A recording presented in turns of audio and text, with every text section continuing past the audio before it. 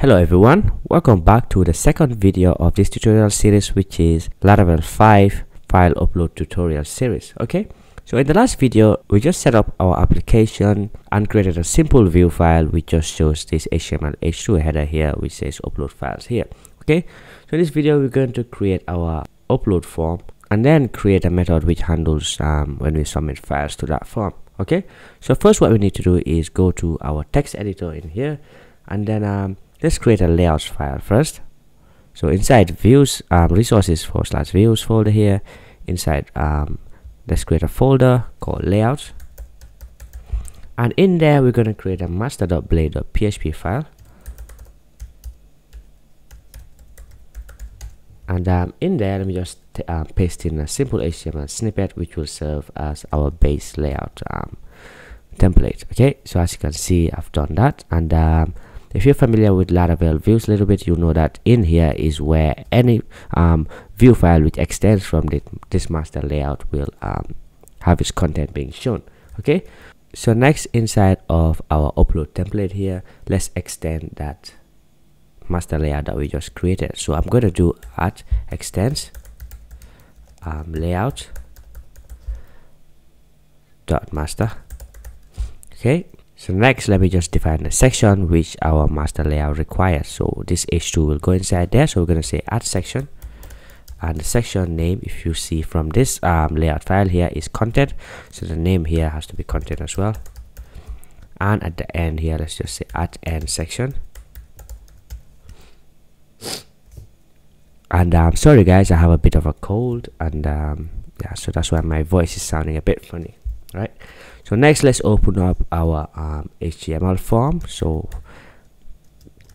we do um hashbang hashbang in curly braces. So we're to do form colon colon open. And we want the form to submit to uh, url um, which is handle upload. So we're to pass in an array here which um, has a key of url and the value for that is um, handle upload. And uh, that's the route that we created in the previous video and you have to set um, files to be true as well. So let's um, create a key files and um, the value will be true. Sorry about that guys. T-r-u-e okay? So let's close the form. Okay so we're gonna do form close. But now let's define the body of the form. We're gonna need uh, a field which is file. So let's do form colon colon file. And the name of the um, field will be file as well. Let's just duplicate that a couple of times so that we can do uh, go even faster. So next we have to define a token and we don't have to give it any um, name here. So finally let's create a submit button so that we can submit our file upload um, form. And the name the value of that will say uh, upload or the title that is okay so let's go back in our browser and when i refresh we should see a form there. As you can see we have a file um, form here that says uh, choose file and then um, we can choose the file. As you can see when i um, submit that it says files controller does not exist because the controller doesn't exist. So let's create that and the action um, itself. Okay so let's go back to our command line here. Let's do our composer or not composer sorry php artisan make controller. And the name of the controller will be files controller. Let's just add in a resource um, flag here. So it creates some um, resource actions for us as well and then we give the name of the controller. So in this case files controller. So I press enter and that should create a files controller for us. So let's go ahead and have a look at what's in that. As you can see um, it created some um, basic actions for us so next let's just create the action that we need manually which is the handle upload um, function. So let's do a function auto complete that and handle upload. So request. Since it's uh, um, going to be receiving some input fields from a form let's pass in the request um, parameter here so that we can access the request from the form. All right so let's implement um, that now. So I'm to just format this a little bit.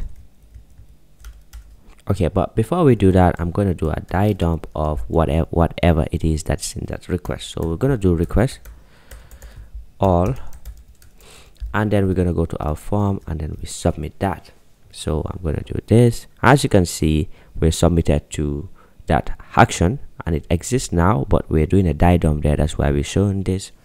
And it has submitted the token but since we didn't select any file it didn't add the file in that um, request. There okay? So let's go back to our form and then now let's implement that action properly. Let's remove all of these. So first we're going to check um, if the request has a file before trying to do any file operations on that submitted form request okay? So let's um, call the a method on request called has file. So let's do has file. So what file um, name are we looking for? Um, if you remember um, we called it file. So now that we've checked that the, a file exists in the request we're going to actually um, get the file. So we store in a variable called file equals to request. And then to access the file itself now you have to call the file method on the request and then you give it the name of the file um, in your um, view template. So i'll just show you that quickly. As you can see when we were defining the file we gave the name of file. So if this was something like um, let's say image so to access that in your controller action here you have to just change this to image as well and then this to image. But since we didn't name it image let's change those to file okay? So the name is left entirely up to you.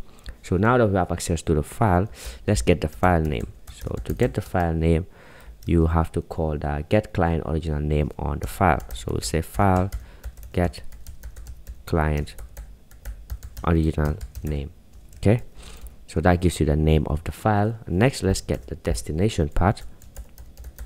That is where um, we're going to um, store the file after we've uploaded it. So destination path equal to config so this is uh, actually a config setting that we have to set but we haven't done that yet. Um, let's first try to access this then we're going to go to our um, config slash app file and then set that value there. So to access that we're going to do app dot file destination path.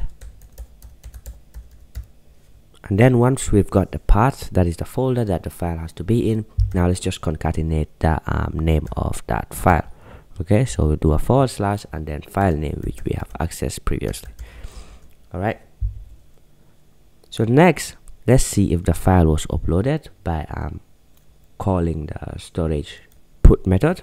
Okay so um, let's say uploaded equal to so this variable here will be true or false depending on if the file was uploaded. So laravel provides for you a storage class which you can use to do operations on files that is upload and stuff like that all right and the class name is storage so s-t-o-r-a-g-e so let's do a use storage at the top here. Use storage okay? So backslash storage all right so what we have to call on the storage class is the put method which just um, if you give it a path and a file um, content it just stores that in that path so since we have defined a destination path here let's copy that and paste that in here. So next what do we want to um, store in this path so let's do a file get contents. So now we're getting a contents of um, this file here and then we're storing that in the destination path so to get the contents of the file we have to do file get contents and then we pass it a path where the file is temporarily stored or after we've uploaded. So file get real path so basically what this does is the temporary location of the file because before the file goes to its final destination um, PHP puts it in a temporary location. So depending on your operating system that uh, may be different. But don't worry about it. I mean PHP take care of that okay? So now let's do a check for if uploaded. That is if this put method here return true or false. So if uploaded